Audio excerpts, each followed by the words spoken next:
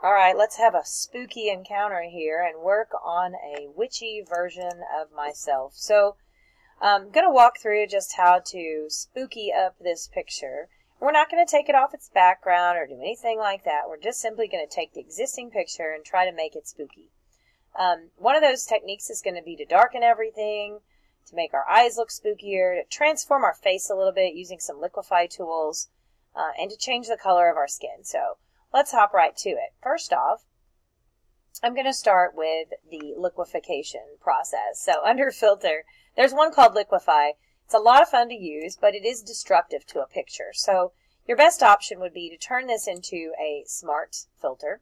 Um, and in order to do that, this layer has to be a smart object layer. So I'm going to right click my background and convert to smart object so that then I can do all these things to it. I suggest doing this early on because later on we're going to change the color and all that. And if this is already done, it makes it a lot easier. So this is our main background. I'm going to zoom up a little bit here just so I can see this better. Under Filter and Liquify, if we click on that, there are some really cool features um, that we have where we can use face aware liquify. And um, if you click on this little button here, the face tool, it's going to put kind of a line, like it automatically detects your face. It's pretty smart too if you're the only person in the picture. And it'll set the boundaries of your face, where your eyes are, your nose. You can actually use those buttons or you can use these sliders. So you have two options here. So I can come here and like point to my nose and I can pull it down to make the nose lower or I can lift it up. So you've got nose height here, or I can come over here and click on it and I've got buttons to do that as well. Same thing for the width. You can do it manually here, or you can come over here and do it. So you can use the buttons whichever way you want to. Um, I will say that it, it keeps them within a very specific like parameter set, and that's basically so it doesn't mess up your pixels. There are some tools in Liquify which are going to smear, for lack of a better word, pixels. And I'll show you that here in a minute because I want to do my nose that way. But, um, but if you can stick with these, they're going to be the most realistic. So again, you want to zoom up so you can see really good what's going on. Okay, so we took care of the nose. Let's go ahead and deal with the eyes. And again, if I want to click on here, all of these sliders are also changeable by using these buttons. So like that one here, modified my eye size. The eye is bigger than the other one. Same situation here. I have one eye that's always bigger than the other one, by the way.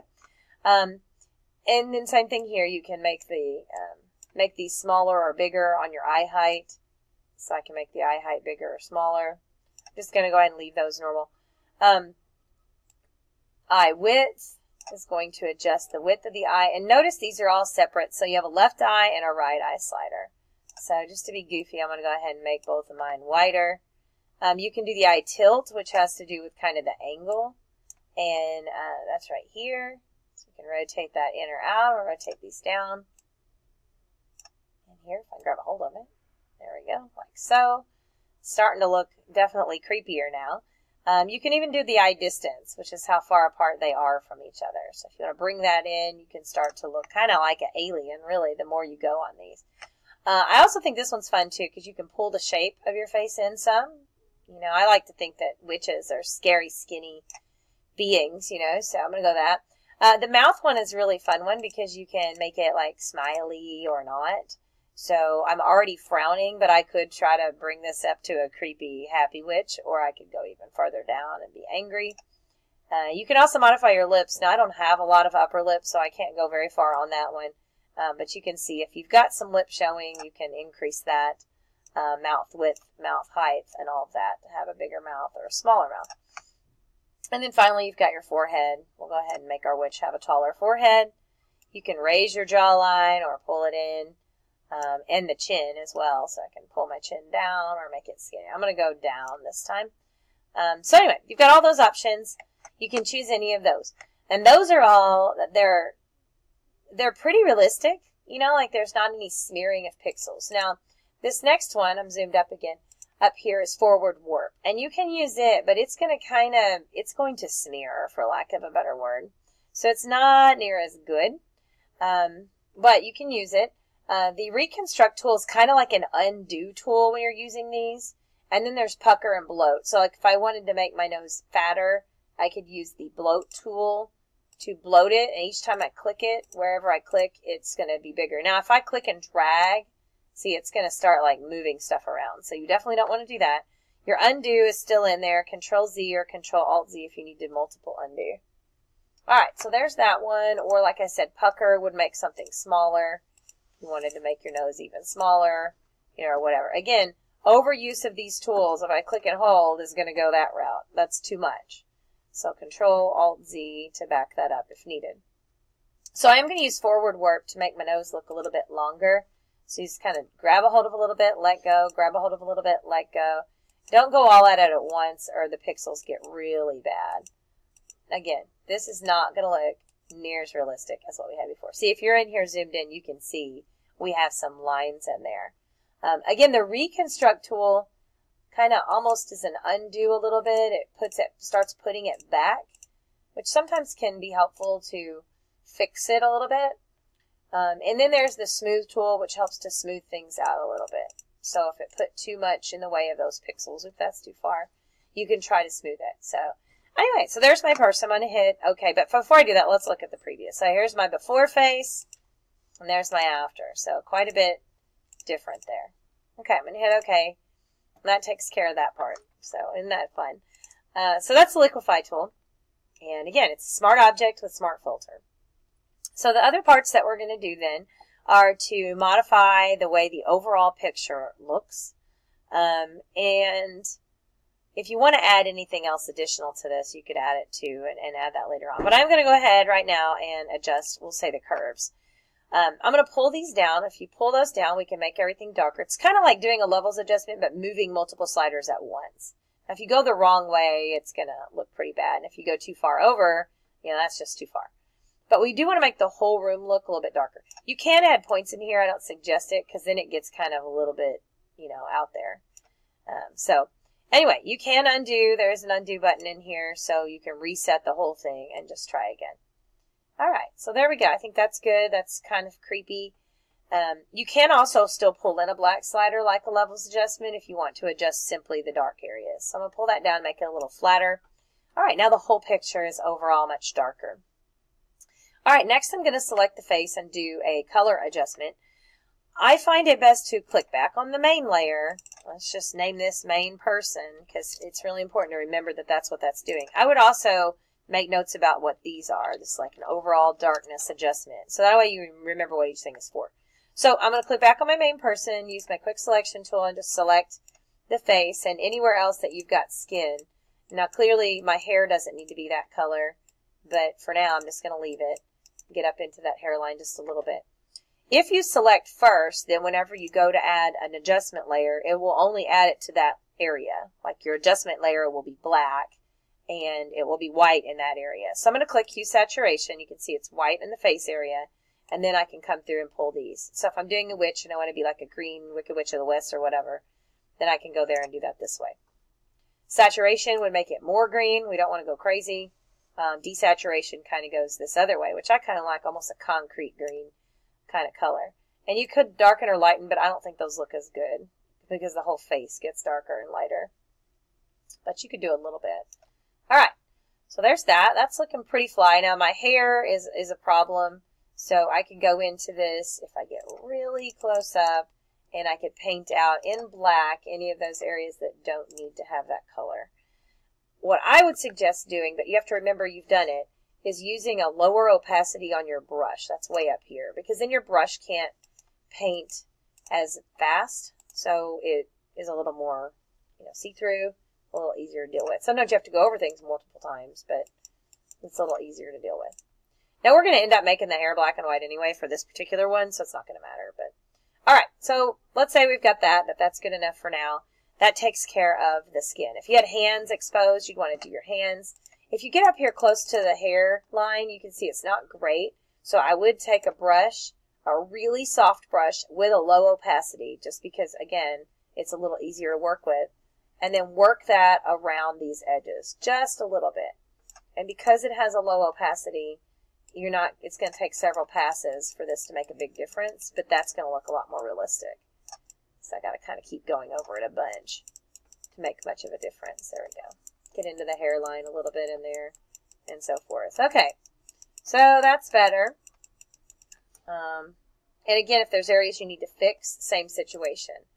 Uh, you can go in there and get rid of that hue saturation if you went over too far in some areas. Okay, so that takes care of the skin. So we've got the skin going on now. Um, you don't want your face, like the eye part and your mouth part of your face, to have that green color. We kind of want to bring back our normal color.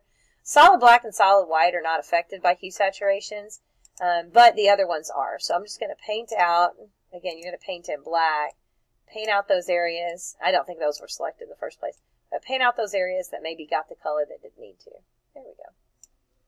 And if you get close to the eyes, the inside of the eyes, our eyes are really kind of red on the inside and it looks creepy. Much creepier when we get in there. See, there we go. That's better. Okay. So I've got that in there. Um, now we're going to do an overall adjustment to make everything black and white except basically your face. So what you could do here would be to pre-select again your face area. So back on the main person, kind of pre-select that face area a bit. Um, even in here where your, you know, skin is. And then we want the opposite of this, but I'm going to go ahead and do it anyway. So I'll go black and white, but see the wrong thing turns black and white. So if I'm clicked on my adjustment layer and I press control and I, it inverts the selection. Now don't do that on the main person layer, but on the layer mask.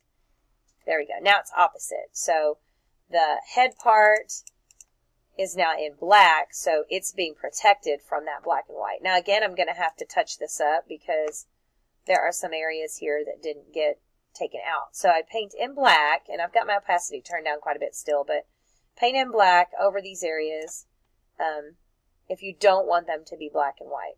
And again, you can pull that opacity back up if need be so that it paints a little quicker.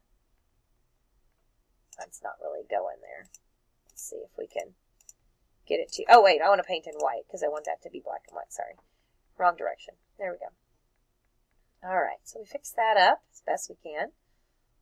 And there may be a little bit of a color in there, but not too big of a deal. There we go. All right.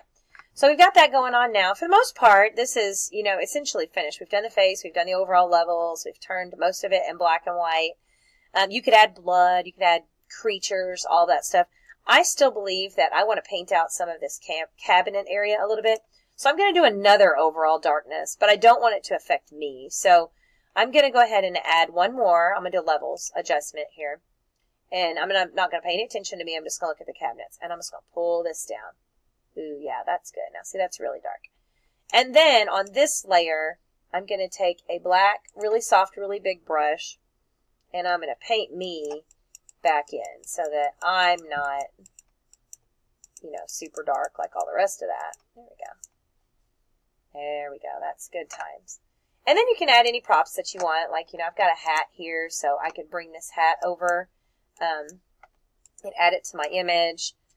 And if I needed it to be bigger, you know, control T and, and do all that stuff. And this needs touched up. But you can see here, you can then um, make any normal changes that you would make under regular circumstances to the image to fix it up. And again, if you're doing something to any props that you bring in, at this point now you're above everything. So you're going to have to add your own set of clipped in, clipping masked in things that are only going to affect your, um, you know, your picture here. So you can do all these adjustments straight within. And that would just go to the hat itself. It wouldn't be to every single layer because I've got it clipped into this layer. There we go. Okay, and this particular hat is not selected very well at all. This probably needs a, like a inner glow or an inner shadow, I guess would be a better term to try to get rid of some of that uh, white that's going on around it, or I needed to do a better selection in the first place. That's not really helping a whole lot, but, but anyway, but you get the gist of it. So this is basically a, a nice, easy, quick way that you can do it in about 10 minutes to take yourself, make you look a little bit creepier, um, you know, some of my students are creating themselves to be demons or wizards or um, other kinds of creatures other than witches. So, whatever you want to do, it's just a great way to practice using lots of adjustment layers.